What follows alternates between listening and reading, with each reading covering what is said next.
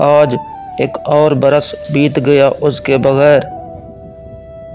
रंजिश ही सही, दिल ही दिखाने के लिए आ। आ फिर से मुझे छोड़ के जाने के लिए आ। अब वो किसी और से कहते होंगे, तुझसे बिछड़ेंगे तो मर जाएँगे।